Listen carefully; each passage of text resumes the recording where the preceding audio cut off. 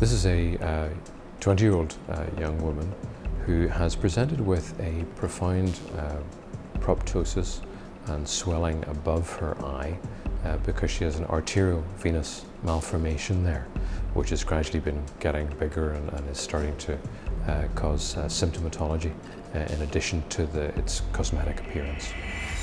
Today what she's having done is she's having onyx embolization of this arteriovenous malformation and whilst it's hoped that the very large portion of this will be able to be embolized today, uh, there very often uh, can be small remnants of the AV malformation still there at the end of the procedure.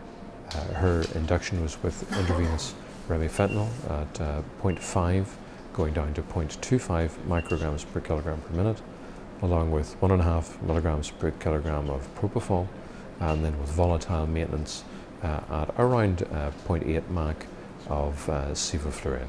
These are drugs which give me the option at the very end of a rapid emergence. We go back to wishing to uh, examine this young girl neurologically, particularly her vision at a very early stage at the end of the procedure. For this particular case, I chose an LMA Supreme, uh, not least because the patient's uh, case may be of uh, indeterminate duration.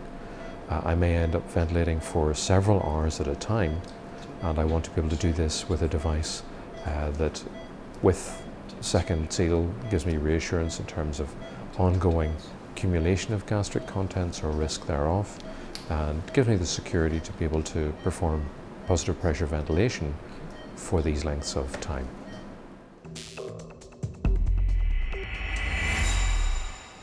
One of the things about having a, an AV malformation is that because of the arterial inflow into the venous side of the structure, there is an ongoing risk of hemorrhage, uh, which can be quite catastrophic depending anatomically uh, on where this is. Other aspects of the procedure itself uh, that pose problems are that uh, the interventional neuroradiologists have to acquire access through the internal carotid artery all the way out through and past the uh, exit from the ophthalmic artery to the blood supply to the retina.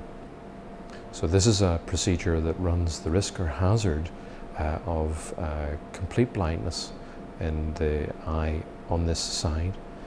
So again, everything that I can do to minimize the likelihood of cough or straining, uh, particularly during the procedure itself, is of benefit to the potential benefit to the patient.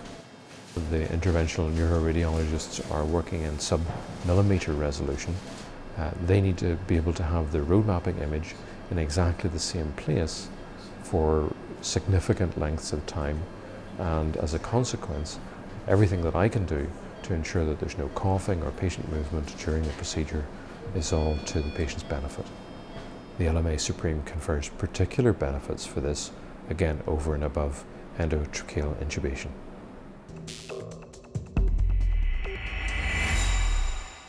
With a device like the LMA Supreme, I can have the confidence that after this procedure, which took in the region of four and a half hours to perform, uh, I can happily, with safety and security, perform positive pressure ventilation through an LMA Supreme for the duration of a case like this. The overall prognosis for this patient is very good. Uh, the fact that uh, this procedure will have reduced by 90 to 95% the size of this arteriovenous malformation uh, will make it a much uh, safer procedure to perform for the combined ophthalmic and plastic surgical team. So her risk of uh, significant hemorrhage will very dramatically have been reduced by this procedure. After this procedure, this young lady should be discharged within 24 to, to 36 hours of completion of the procedure itself.